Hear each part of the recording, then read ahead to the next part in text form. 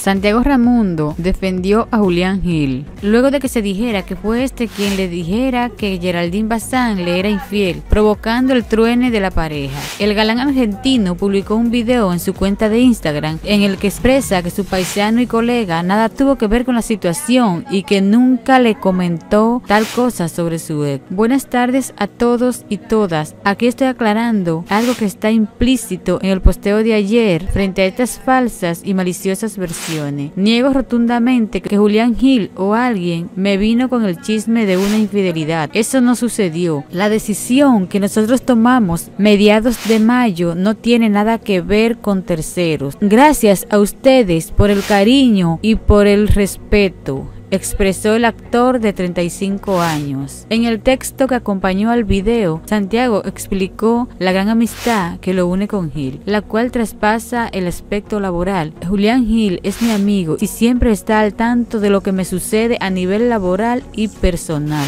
Aunque estaba implícito en el posteo anterior, aclaró que Julián Gil también es víctima de las versiones falsas y maliciosas, ya que jamás me mencionó algo semejante. Es un caballero y así debe ser tratado. Con este video doy por finalizado el tema. Gracias por el respeto y cariño.